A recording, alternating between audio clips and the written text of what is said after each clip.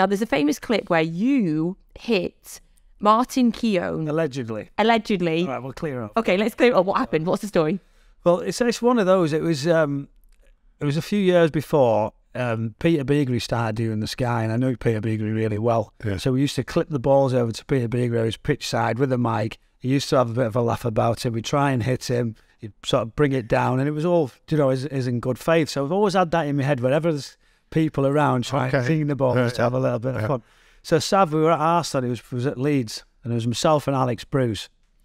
And we're warming up and having a little look, and Sav's behind the goal, but it's actually in front. They've actually set him up in front of the Leeds supporters, which straight away it's obviously causing a bit of one of them. You can see them after him straight away.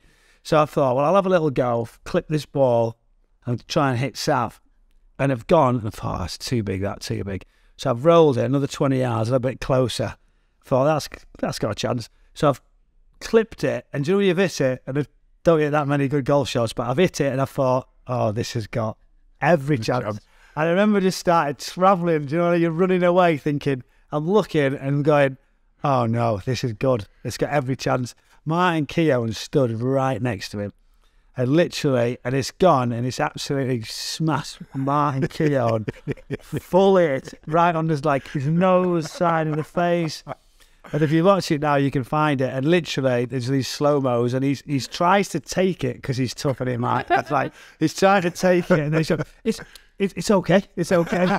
but really, he's devastated. That's clobbered him right in the, right in the face. Uh, but I did try for Sav.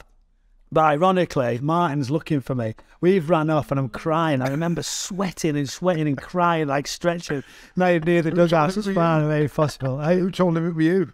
well, that's the same. Someone has said, I think it was Michael Brown. So he's oh, gone or he's gone. So obviously the next he's doing he's doing articles. He's saying he's never hit the target in his life. He's No. done this. Yeah. He's chewing Oh, and no. And I heard he was looking Oh, for me snapping. afterwards. Obviously, he's snapping. Yeah, he's chewing. He's hitting full belt. Everyone's seen it. And then literally, I've gone on the bus and I turned my phone on, and my phone just melted. Like literally, the battery was just going ding ding ding ding ding ding ding. ding. Battery gone. And I heard he's looking. So it was years later. I hadn't really seen him. I passed him in like a press press room, and I started doing uh, this sort of job. Passed him in a press room, and I'm sort of hiding from him. So I'm thinking he's going to still have me, but luckily it was quite a while away. And then we got put on a job. It was um, Portsmouth versus um, Arsenal. And they said, BT, can you do, can you do the job? I said, yeah, great. And then they said, you work with Martin. I said, all right, fine. You do know what's happened. So Did they get the sat footage? there. So they obviously knew what it was. Crackers. So first I walked in the Winnebago before they get in. He's dead serious in his mind. He's, hello, nice to see you, Michael. I fight. So he's let it go. So then um, we're at the game and we're at the side of the pitch and um, Jake Humphrey's presenting and it just said the sign next to it said beware of flying balls at Portsmouth and he's just gone like that to Martin and we've sort of buried it but it was brilliant. I wish I'd have got Sav. Yeah, we all wish you